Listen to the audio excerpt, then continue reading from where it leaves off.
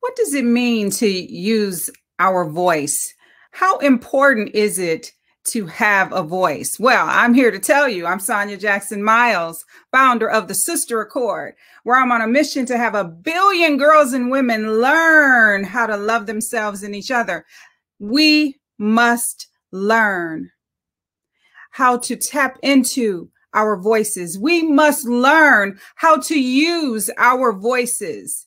Now is the time more than ever in our lifetimes. It is so critically important for us to use our voice and drive equity, drive everyone having a seat at the table.